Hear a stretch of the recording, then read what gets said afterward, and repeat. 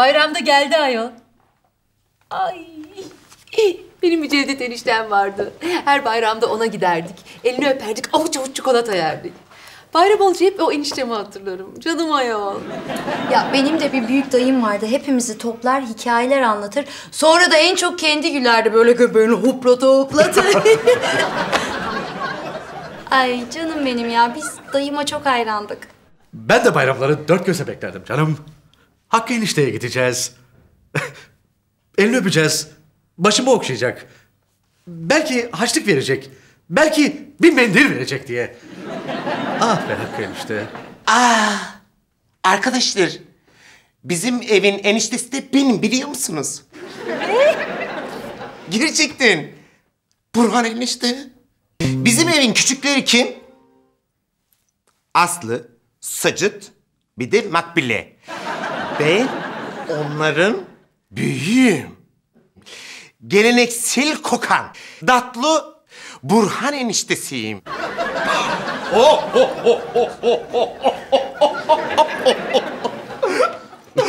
Burhancığım, olay göbeğini hoplatarak gülmek değil canım. Mesela Cevdet eniştemin evi lavanta kolonyası kokardı. Duvardaki resimleri, kristal şekerliği asla unutamam. Ee, bu gençler beni ileride her zaman hatırlayacaklar. Ve diyecekler ki bir Burhan enişte vardı diyecekler. Ne tatlı adamdı diyecekler. Yosun kokardı diyecekler. Hikayeleri anlatırdı. Saçlarımızı okşardı diyecekler. Ah diyecekler o eski bayramlar bambaşkaydı diyecekler. Burhan, hayırdır ya? İyi misin sen? İyiyim iyiyim. Kibrel Bey bir an kendi anlattıklarımdan dolayı etkilendim herhalde. Ondan dolayı bir ya, duygularım çıktı ortaya. of! Burhan enişte. Ne kadar tatlı bir adamdım be. Aslı Burhan Bey kaçta işten çıktı? Altı buçuk yedi filandı galiba niye? Her saat dokuz oldu halen ta ortada yok da. Aslı, seni Osman Bey aramış değil mi? Aa, nereden biliyorsun anne? E, Şahika söylemiş Makbule'ye, Makbule de bana söyledi. e ne dedi? Sana kırgın falan değil değil mi? İyi akşamlar Sütçüoğlu rezidansı sakinleri. İyi akşamlar. Burhan enişteniz geldi. Nerede kaldınız Burhan Bey? Sorma. Ofiste işlerim biraz uzadı da. Demek ofiste işler biraz uzadı ha? Meşas alındı. Aslı, hoş bulduk yerim. Hoş geldin. Ah yo yo elimi öpeceksin ama. Efendim? Hoş geldin Burhan enişte diyeceksin, elini öpeceksin, alnına koyacaksın. İhtiyar, bunlara aile büyüğüne nasıl davranılır öğretmediniz mi siz? Burhan Bey siz yine nasıl bir manyaklık peşindesiniz ya? Niye elinizi öpüyorum ben? Ama ben senin Burhan eniştenin aile büyüğünüm. Onun için öp eniştenin elini. Ya Burhan Bey benden sadece dört yaş büyüksünüz siz. Düşün bak, sen görmedin o yılları. Ben çocukken televizyon yoktu biliyor musun? Ben çocukken de yeni gelmişti. Ne var? Ah işte sizin jenerasyon hayatta bilmez bu konuları.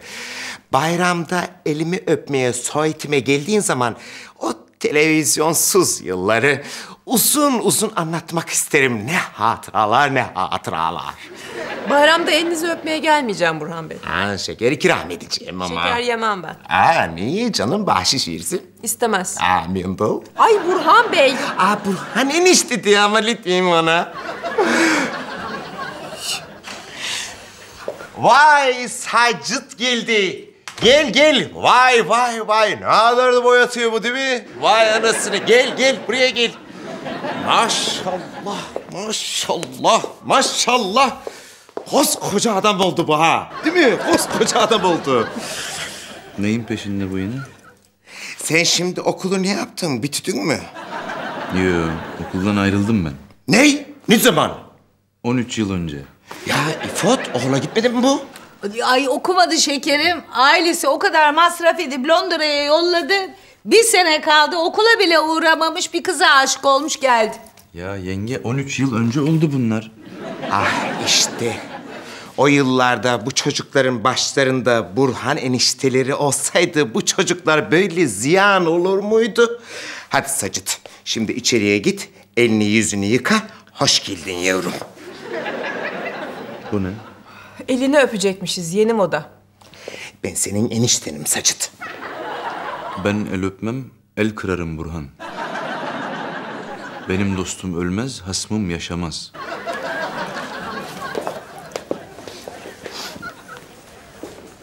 Ya herkes ayrı bir deli bu evde. Allah sonumuzu hayretsin.